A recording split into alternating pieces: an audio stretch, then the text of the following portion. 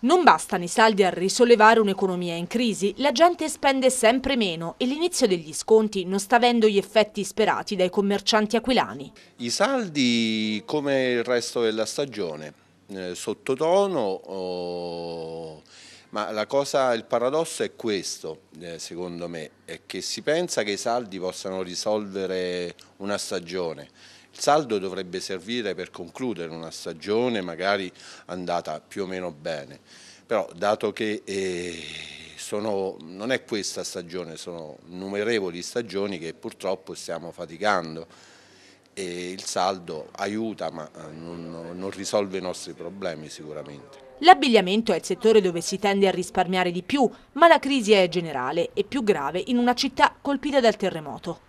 La crisi, c'è crisi, c'è crisi come da tutte le parti.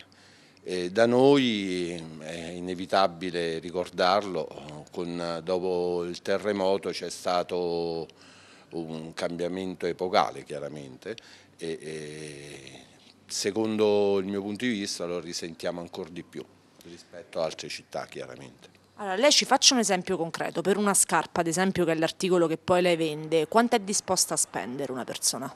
Il prezzo è molto relativo, chiaramente dipende dal prodotto che dai.